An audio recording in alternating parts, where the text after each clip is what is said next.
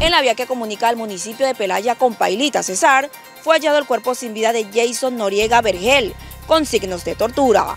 El cadáver se encontraba atado de manos y pies, además su boca tapada con cinta adhesiva.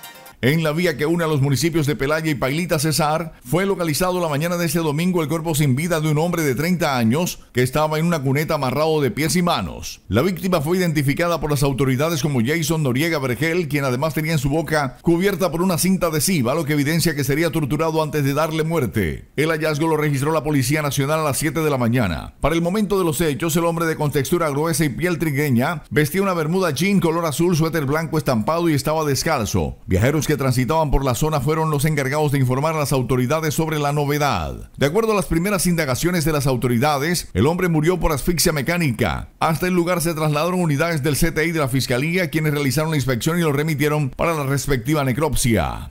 El ICBC es una institución que marca la diferencia.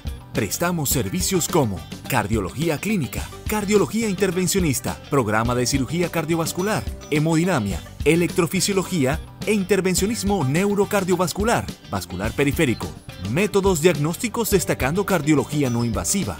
Además, contamos con el servicio de unidad de cuidados intensivos y hospitalización, un equipo humano comprometido en el cuidado y monitoreo de nuestros pacientes, brindando un servicio oportuno según la necesidad. Nuestro lema es Por el corazón del valle. Le ponemos el corazón para el bienestar de nuestros pacientes. Somos el Instituto Cardiovascular del Cesar.